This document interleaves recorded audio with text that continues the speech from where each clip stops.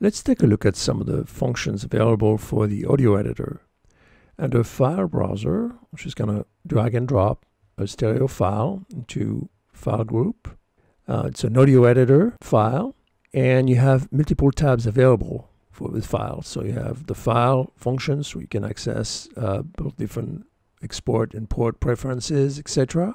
And the view, we have different zoom options. So you can uh, zoom up and down this way, or you can zoom horizontally that way. Another way to zoom horizontally is to use a cursor. You can go up and down the cursor and zoom horizontally this way. You can also have a microscope view or reset the file. And this tab can be hidden as well. So if you have a little icon here, so you can fold the tab here up and down. Other functions on the View tab are the Move Cursor. You can actually move the cursor to the beginning and the end of the file. Let's move that, zoom back in here. You also have different playback cursor options. In this case, you can have the static view this way, or follow the cursor, or you can have the scroll view where it will just scroll the background and keep the cursor static.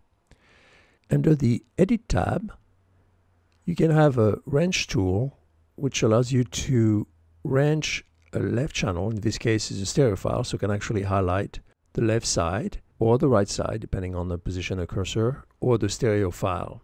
Now this allows me to highlight, let's say, a left channels here, switch to the playback tools, and just hear that left channel here, or highlight section of the right channels here, and play that right channels here, or stereo file directly from here.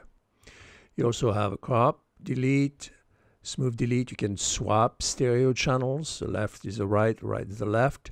Zero crossing should be engaged, allows you to do some cuttings without uh, getting pops and clicks. You can also directly right click on the highlighted section and cut it, for example, or mute the section.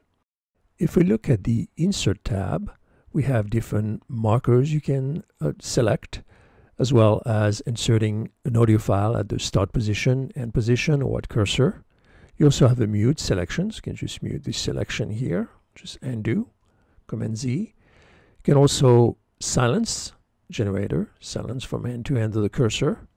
You also have a bleep censor where you have high tones, low tones, and you can also select the frequency uh, you like to, the tone frequency you like to insert, as well as the crossfade milliseconds. You also have factory default settings. Of course, you can always save and recall different tones that you like to insert within the bleep censor and apply it. Under the Process tab, you have different process options, gain envelopes, uh, level, a loudness with the pan uh, section, which is correct the channel balance of the audio file, um, which you can adjust here with uh, different setting presets. You can save and recall as well. Uh, some different fade options, um, as well as time stretching, pitch, uh, time and pitch uh, stretching, bending, etc. Under correction, you can detect pops and clicks or crackles and analyze the file, the entire file, or you can actually uh, highlight a section and maybe just analyze that defined section. You can also autocorrect the uh, the file, so you could just click autocorrect and it will uh, look for error and correct them. And there's different settings options. Under spectrum, you can see it'll display the waveform as a spectrogram. So if you look at the bottom left corner here, you could display a traditional waveform, spectrogram, wavelet. It will show you a different uh, perspective as well as loudness. Regardless of the tab you're selecting here, you can display spectrogram, wavelet, or loudness directly by switching the tabs in the bottom left corner here. Now from there you have different tools available. You can actually uh, select a section here and move it around by just dragging it to different locations and copy it, paste it there. You have, for example, a lasso, so you can define actually a, a region, you know, within the spectrogram. It will show you the frequency, so you can move it around. So if you go up, you can see the higher frequency, 6,000 hertz here, or close to that, and then down to 23 hertz. If you right-click on that section here, you could play solo that selection, Or you can also play mute selection, which is the surrounding, subtracting that region from there. Another tool is audio inpainting, which allows you to replace the content of the selection using the surrounding regions. The magic wand will allow you to select a surrounding spectral content with a similar dB magnitude. And for example, like this sections here or sections here, and it will show you actually show the frequency as well, it's selecting here.